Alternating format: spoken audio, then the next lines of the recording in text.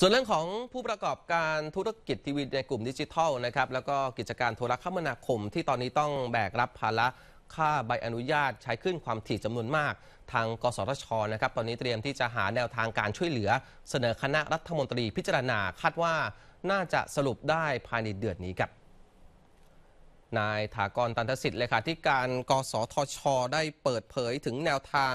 การช่วยเหลือผู้ประกอบการทีวีดิจิตอลนะครับ ซึ่งทางกสทช ได้เสนอให้สามารถพักชำระค่าธรรมเนียมใบอนุญาตออกไปได้ไม่เกิน 3 ปี จากเดือนพฤษภาคม 2561 แต่ต้องชำระดอกเบี้ยตามปกติ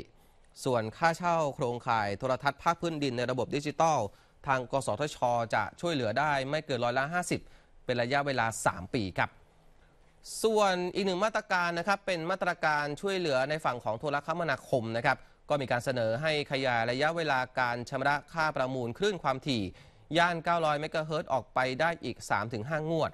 จากเดิมที่จะต้องจ่ายงวดต่อไปนะครับในปี 2562 เป็นจำนวนเงินกว่า 60,000 ล้านบาท ซึ่งมาตรการทั้งหมดนี้ได้